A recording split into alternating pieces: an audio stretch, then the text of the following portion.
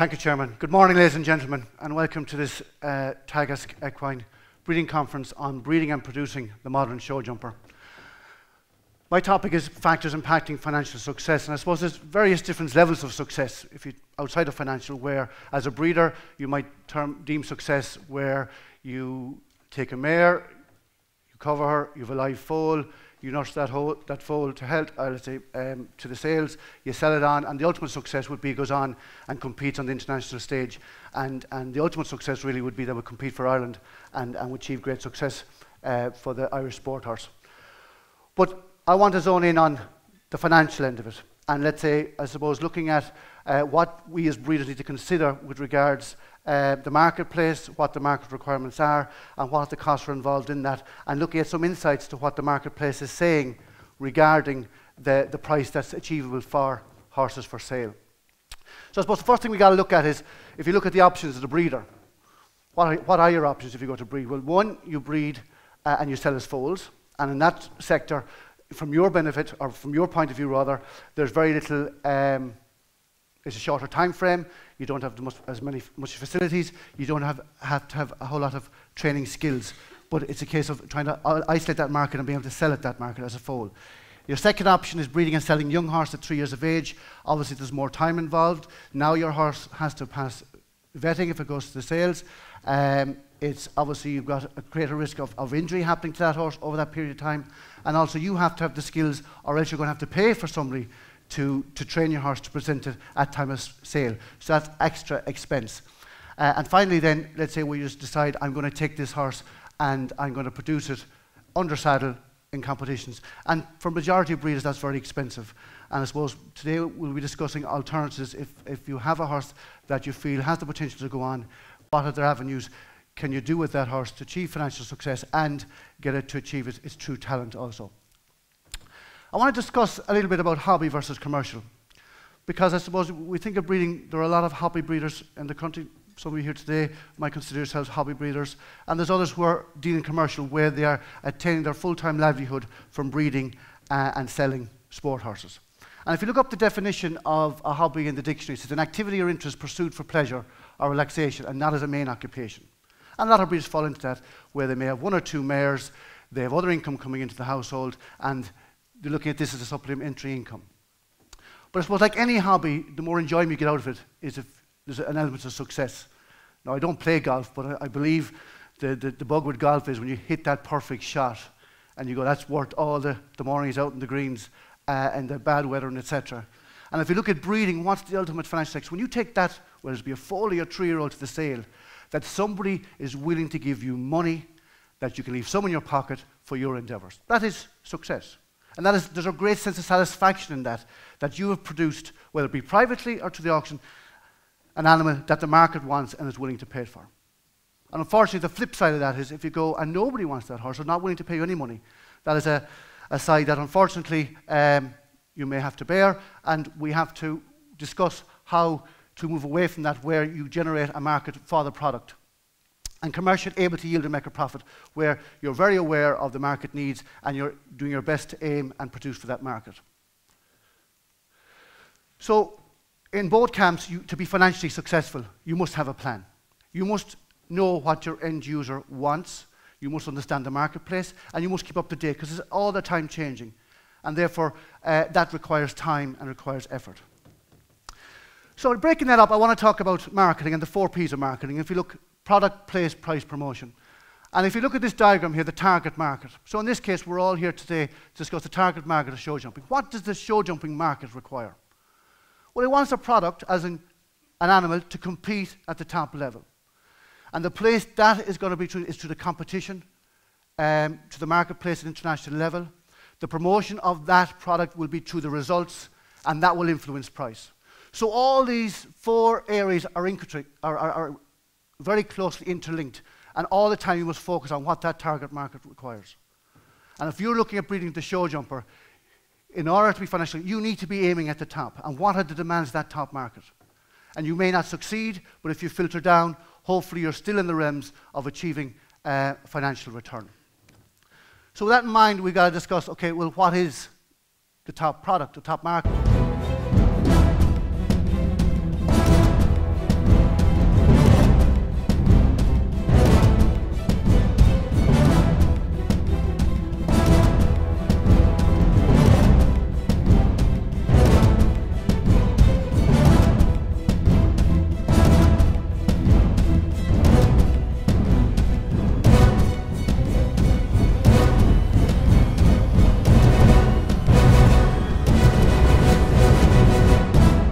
Okay, so obviously we're, we're, very much aiming there for the top end of the market. And if you think of breeding, and, and we think of the pyramid system, by its very nature, when you aim up the top 160, why is that at the apex of your, of your, of your pyramid? Because those horses are very difficult to breed. They're very difficult to come by.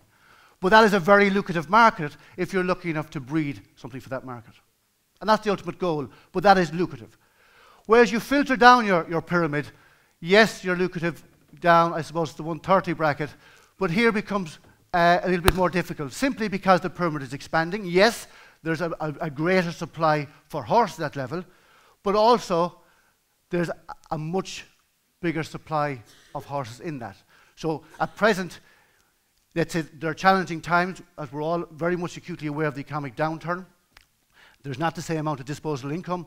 So this market particularly is suffering because the demand does not match supply. Supply outweighs demand. And as a result, this market here is suffering because of the amount of competition of horses and the marketplace is dictating the price. So as breeders, we have to understand if we're breeding and our horses are aiming at this level, achieving financial return will be very difficult. Unless, obviously, you have the exceptions, but on the average, it's very difficult to get financial return here. Whereas we move up the ladder and you're aiming at the top and you're filtering down, you have the opportunity to get financial return. So, if you think about the clip, that's the top end. I've shown you international level, jumping 1 meter 60. As a breeder, taking that, what product, what do I have to do to achieve that product or make that product? Well, I have to have, first of all, my mare is the key. And the mare will be just in detail throughout the day. But what she brings to the table, the attributes she brings to the table, her pedigree, is it performance orientated? Has she performed herself? And th that is an area where it's difficult for breeders, but certainly because of the financial um, cost of, of, of, of putting the mare out in, in competitions, but also, let's say, they should be evaluating their mares at young horses, particularly three-fourths of age, and the, the horse put on mare inspections are uh, an opportunity to get an independent appraisal of mares if you haven't got the skills uh, yourself. Looking at the dam line of the mare, is it performance rich? Does she come from a family that have bred performers that are competing at, at, at, at international level, 1 metre 40 and above? Is she herself an athletic, athletic model? Does she bring the attributes of, um, to the table that she can pass on those traits to her offspring. And if you have that mare, then you've got to take great care in, in selecting your sire. And obviously, the, the, the ultimate would be to select a sire that's a, a producer of performance horses, but you may choose a, a, a young sire, and therefore you're very much going on his performance, but he needs to be a performer. So breaking that down, the show jumper, what does it bring to the table? It has to be athletic, it has to have blood, as in being as responsive. Um, when you think about show jumping now, it's not only a case of jumping the fences and leaving the standing, they have to go against the clock and they have to be quick on the ground in order to be in the placings. They have to have ample scope, they have to be careful, and they have to have good technique. Show jumping as a sport has greatly changed. The fences now, um, the height hasn't really changed, but the poles are much lighter, the cups are more shallower, and therefore the horse has to be ultra careful to compete at the top level. So, with an understanding of what the market is and the target market is and what the product they're looking for, you move on and, well, price. What, what's, the, what, what's the market going to pay me for me going to this trouble? I suppose, first of all, you've got to ask, well, what are the costs involved?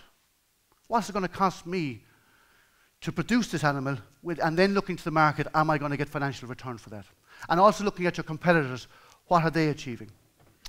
And it's difficult in this regard because, let's say, um, our director, Gerry, mentioned uh, the UCD economic report that was published last year. And there was a survey done on, let's say, the industry in regards the private sales. And it was very difficult to get, you know, real tangible data regarding the private sales. But that report came back with that 73% of animals are sold privately and 27% are sold in the marketplace. And the average price for the horses sold privately was about 4,700. And that included foals, three-year-olds, older horses. So to look at the private market is very difficult to get uh, meaningful data that I can share with you today, but the, the, the, auction houses we can. And we can look at, okay, what are the averages returns for foals, three-year-olds and older horses through the sales, and what are their average returns for the top end of that market? And they do tell a story. So look at the cost of production. Okay, how long is a piece of string? Because each of you have your own individual scenario at home, where you maybe have a lot of land where the horse live out for long periods of the winter. You might have um, you might have a mare that goes on foal very easily. Uh, your veterinary costs, if you're, if you're bringing in semen, obviously your veterinary costs will be much more. Um, so what I've done here, I'm not taking into consideration uh, labour costs or land, land costs or mare depreciation. I'm looking at the cash costs. And I haven't included here the stud fee because it can range from 200 to 3,500. What I want to get you to focus on, what are my cash costs in producing a foal to weaning, to time of sale? So we go down through and we go to the keep stud, the farrier, dosing, dentist, etc. We come to a total of 1,197 for the foal to be born. And that's not including the stud fee.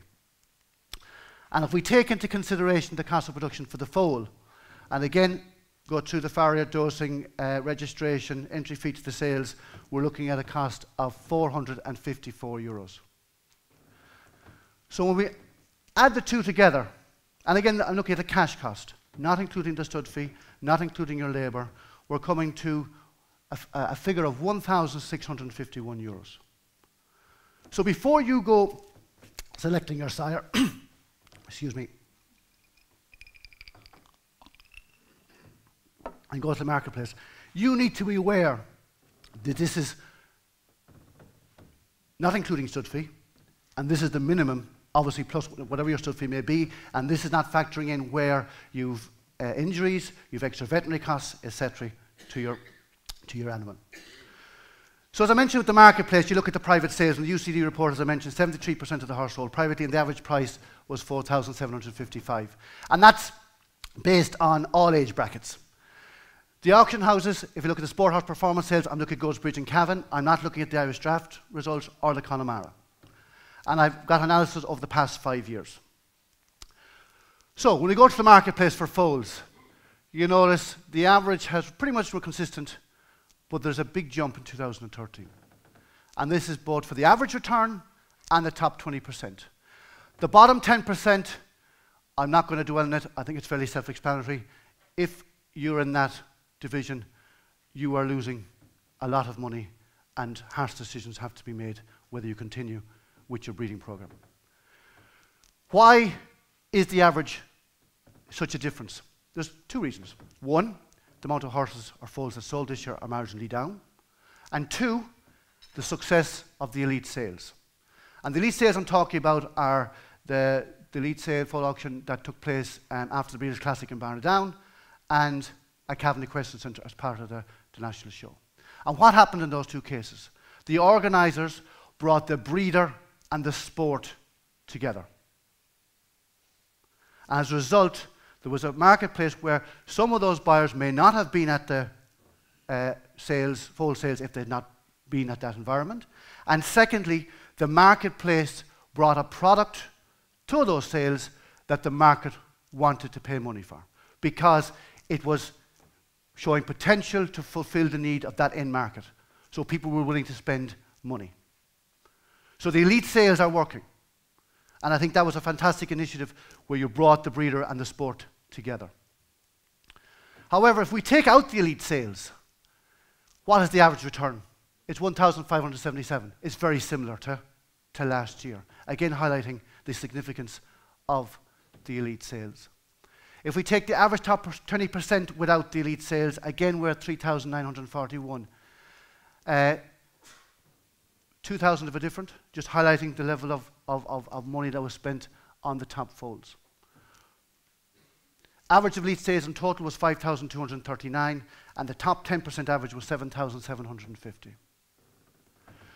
So we move and we decide now to take away our estimated costs, again, which are cash costs, and we haven't included the stud fee yet. Average returns without the elite, we're in negative equity, we're 74 euros down, and we have yet to include the stud fee. If you go the average returns with the elite, we have 591 euros. And if our stallions line 591.50, we're in trouble. Okay? So therefore, your, your, your stud fee is not going to cover in this price. The top 20%, 5,586. We have 3,935 in profit. If we take our stud fee at 1,200 euros, which look into the, the, the, the sales and taking into consideration the stallion fees for the elite sales, the average is in the region of 12 to 1500. If we take another 500 into place, if you're shipping and semen and courier costs, we are still in profit with that return. And this, folks, is the market as breeders we need to be aiming. And again, yes, it's only a small portion of the market, the market as in the, the auction houses. The private industry is much greater. But as breeders, if you're looking at to get tangible results, there is a marketplace and is willing to pay for the correct model that's fit for purpose. If we look at the cost of production for a three-year-old, and again, I'm taking, let's say, each scenario is, um, is, is, difficult. Uh, sorry, so each scenario is different. And we look at the cost of production. I've based this on a 16 week period where you've housed the animal. Many of you might have enough land where you can house them outside. Um, but it says cash cost, we're coming up with a figure of 1,789 to produce it to three-year-old. And that's not taking into consideration uh, if there's any injuries or um, it has to be going to the vet in the meantime. It's just basically looking after the welfare of the horse, regular dosing, regular attention by the farrier, vaccines, uh, etc. So what is the cost of producing our three-year-old? When you combine both figures of 1,651 and the 1,709, our total estimated cash cost is 3,440 euros, and we still haven't included the stud fee. And these are, I suppose, this is reality insofar as what costs are. We could argue they could be up or down, some might be more expensive, some a bit less. But I think as a foundation, we have to be mindful that it's going to be in a region on this reason. And what is the marketplace saying in relation to what is willing to pay? Again, if you look at the average for three-year-olds, a trend that's been similar up to 2013, and again, that's increased uh, slightly as a result of the elite sales, and I've counted in the Go for Gold and the um, Monart sales in these results. The top 20% again is an increase.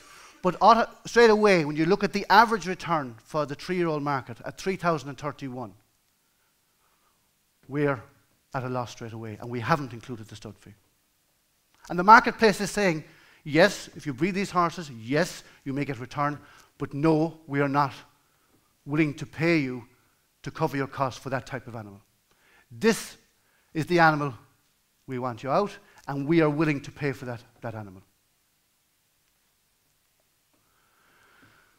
So, looking, if you take again, subtracting your costs from your returns, take the average return without the elite sales, we're 980 euros in debt, and we haven't accounted for the stud fee. We're uh, 409 euros in debt with the elite included, but we are 4,017 in profit, and we take the stud fee out of that. And again, if you're allowing, as I mentioned earlier, if you're 12 to 1,500 stud fee, and you've extra veterinary costs possibly in that as well, you are still in profit. Or you have the chance of successfully being in profit. The marketplace for four-year-olds and five-year-olds, I'm not going to dwell on this uh, for too long, but I just want to highlight the trends. Again, um, it's marginally up in last year, but if you look at the average return for a four-year-old, it's lower than the average return for a three-year-old. So as breeders, we have to be mindful if we have to keep these horses on and break them. The added cost of that, if you yourself can ride or break the horse, that reduces the cost, but if you have to send that horse away to get trained, that adds to the cost significantly.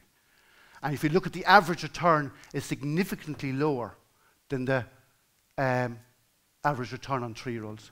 And the same would be likewise for the top 20% of four year olds. So the, the marketplace with regards to four and five year olds um, is not as lucrative. Um, obviously, you've got, you've got the, the, individual high prices, but overall, if you look at, and you as a breeder have to look at the overall to get an average. Yes, you can look at the, the high results and go, yes, that's where I want to be. But you have to be practical. And the practicality is looking at what the average returns are and looking at this is where you want to be, that top 20%, because there's your, your chances of having financial return. So if we look at the averages overall, the average returns for foals, three-year-olds, four and five-year-olds from 2000 to 2013, as we've discussed, you can see the average has increased uh, greatly for the foals, and I think this, yes, the full uh, amount of foals sold has decreased slightly, but the success of the elite foal sales has been a huge contributor to that spike. The three-year-old, again, slightly up, and I suppose you could argue, or the three, four, and five year olds, yes, the, the, the lot sold are slightly down, but the elite sales have had a, a, a very positive impact on that, and that's including Monart and, and the Go for Gold. Foals top 20%. Again, in this realm, you can look at Foals. Uh, we're up at 7,000 euros nearly. Three year olds, just a little over 7,000. Four year olds, uh, slightly uh, about 6 7. And five year olds, we're up at 6 2. So, as a breeder and looking for the ultimate financial return, selling as foals appears at present to be a, a good area. Three year olds, um, yes, you're up at a higher price, but the profit margin uh, in the difference is just a little over a thousand. And secondly, you've had to keep the horse for an extra two years, three years, beg your pardon, and whatever level of training goes into that as well. Top 10%, look at foals. Again, this is the ultimate where you're in the top bracket. We're up at nearly 8,000 for foals uh, return, 10,000 for three year olds, 9,000 for four year olds, and just a little over 8,000 for, for five year olds. And there's, a, as you can see, a significant spike in the four and five year old bracket. And again, I would contribute that to the elite sales. So, the marketplace conclusions. The marketplace is very selective. And again, I, I want to stress that it's, it's only a, portion of the industry. As I mentioned in the, the, the report which carried out by UCD, 27% of animals go through the auction houses. 73 go through private sales. The, the, data from the private sales, we have no, I suppose, tangible data to give you what prices people are achieving. So therefore, as breeders, we must take stock of, of the, the, the, auction house and what that's telling us. And I think what's coming true loud and clear is there's a market for the well-bred animal that's the potential to compete at the higher market. And the marketplace is willing to financially pay you for your troubles. It's not, it'll get you out at the lower end of the middle market, but leaving you profit, unfortunately, uh, the sign or the, the, the result or the data is saying, no, you will not come out uh, with financial profit or with profit. Other factors to consider, and I suppose as breeders, we have to, you get into interbreeding program, and this will be discussed quite a lot today. Let's say you, you decide, I'm going to um, make a decision, I'm not going to continue with this mare, I'm going to get another mare to breed from, I'm going to go out and seek bloodlines, she's performance ideally, but certainly there's, there's, there's, there's show jumping performance uh, in her dam line, and she's a performer herself, and I'm going to uh, select a suitable sire. Then you go to time of sale. The success of your breeding program, a lot of that depends on who buys your horse, or your foal, or your three year old. Because if that falls into the right hands, the chances of your horse achieving its true potential is far greater. Whereas if it falls into hands that um, the horse um, isn't, I suppose, it doesn't achieve its true potential, or the person has no ambition to, to compete on the higher 1 metre 40 or above, that is lost to your breeding program. Whereas if one of your young horses, this is something a breeder has to discuss as well, whether you consider giving one of your young horses to a rider to produce and you do a deal that you get up the rankings to put mileage on it with a view that you maybe as a mare take embryos from her or you sell her on, but it's helping the progeny that's coming through from behind because that horse, if it's, got, if it's successful on the national international stage, will add tremendous value to the progeny that's coming through. And this is breeders where you've got to be mindful of do, you know, the short-term gain may not be serving your long-term financial goals. Also, we've got to be mindful as breeders, have we got the necessary skills to produce our young horses? Are we asking too much of them too young? Where again, they may not be achieving their true potential on account of being overproduced at a young age and, over, and, and rushed in their training. Costs, I've gone through, I suppose, the cash costs. I suppose costs are a big factor. And obviously, there's ways of reducing those costs and being more cost effective. Um, Director Gerry Boyle mentioned earlier about the benefits of the discussion group model and how successful that has been in the dairy and beef sectors. I think discussion group model, and there's some members here from the Waterford uh, Breeders Discussion Group, I think there's some members from the West Mayo as well here today. As a group, they've been very successful because group means buying power. You can buy in bulk, and as a group, you can get discounts. As a group, you can work together with regards to promotion of your stock. There's the sharing of knowledge. And when you bring a group of people together on a day like this, there's such a wealth of knowledge within the room. And when you share that knowledge, it's benefiting everybody. And everybody has something to share with their experience with the horses, etc. And to move forward and to get into where we're breeding horses that the international market is seeking for in Ireland, I think we very much need to uh, consi consider the discussion model and discuss and, and consider working more closely together. And doing so will lift the whole, the whole industry. I've discussed in detail the marketplace, the target market, the product it requires, the price it's willing to pay, uh, and the, the, level of competition it's got to compete at. I want to discuss about promotion. The easiest way to promote your horse is having a story to tell. And if you look at the sales catalogues, it instantly jumps off the page what horses you want to go to see because there's a story and it's performance rich. And as breeders, when you're looking for the show jumping market, whether you're, you're advertising uh, in, in, the sale at the auction house or you're selling privately, that's what you need to be telling. And it, it, can't be fictitious, it has to be fact. We're in a digital age. People can look it up on the internet now and, and find out if what you're saying is correct or not. Consider having a prefix because, again, as you get into your, your breeding program, the prefix as in will be associated with your, your, your, stable name and will, again, help attract buyers and also will aid you in tracking down horses that maybe have gone abroad and are competing that you're able to keep up to uh, how, they're, how they're doing. In my opinion, to be financially successful, you cannot afford not to have a digital presence. And what do I mean by that? A digital presence means that you are online in some shape or form. Whether it be you have a picture of your horse, you have a video clip of your horse, you have your own website, you're on social media, but you cannot avoid being there if you want to get financial return because your competitors are on there. And if you go on the internet, there's how many horses for sale? The day of selling over the phone is no longer there. They want to see a video of your horse. They want to see a video clip. They want to see uh, what performance is there, and they can look it up. So therefore, you have to embrace that as a breeder. And you may do that through your own website. You may piggyback on a marketing website. You might through social media. Uh, and it's the most important thing that your content must be relevant and well presented. If you look at social media, Facebook would be the main format, and I'm sure many of you are familiar with Facebook. Facebook has 1 billion active users. Other social networks have tried to take them on and failed. It is here to stay, for, certainly for the foreseeable future.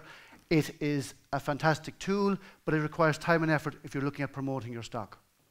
And I suppose the first thing is, as a breeder or your stud farm, have a business page, which is separate to your personal page, where you can upload your information about your horses, have pictures, and you can interact with your fans, your followers, the industry. Change your banner regularly because it'll engage your, your, your followers, the people that click on and like your page, because that will come up on their, their, their stream.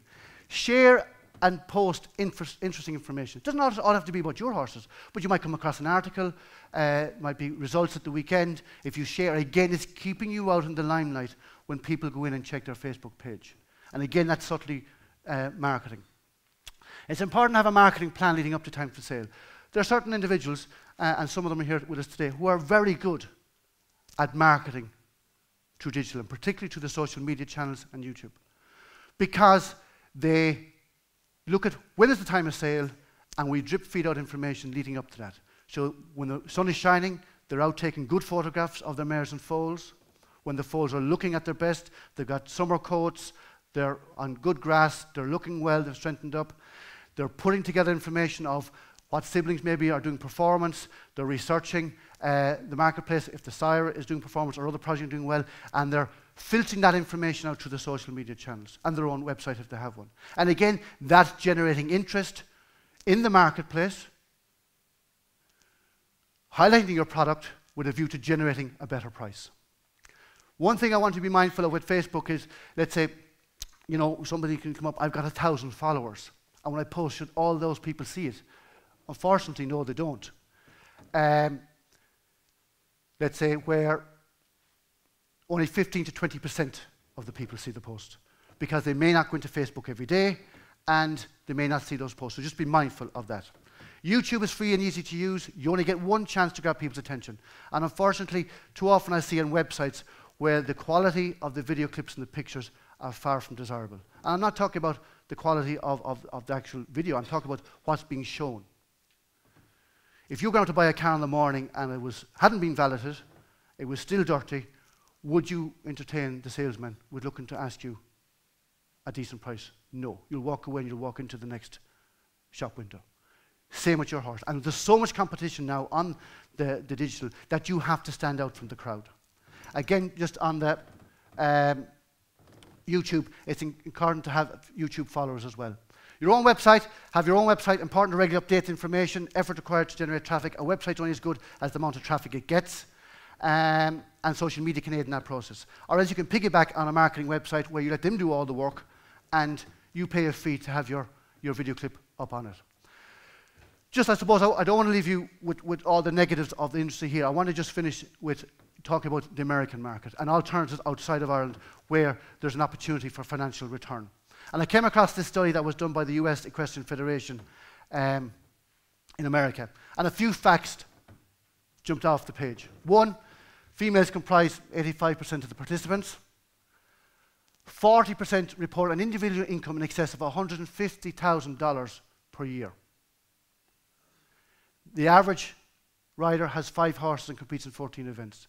These riders are looking for 125, 1 meter 30 horses that can do it comfortably, that are athletic models, that are well produced, and can come out the weekends and be competitive. And I think aiming for the top end of the market, we can, we can filter through that.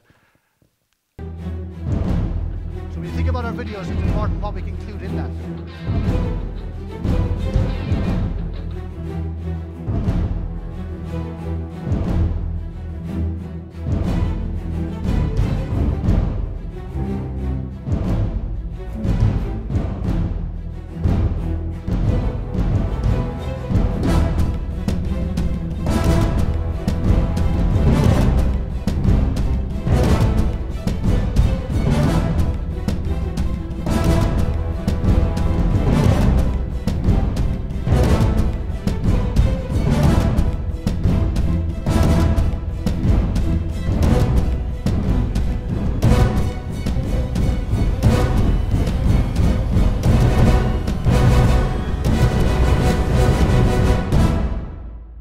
So, folks, just to finish up, the target market.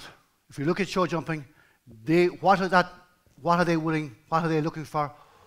Your job is to produce the product, promote it to the marketplace with a view to getting the top price for your animal. Thank you very much for your attention.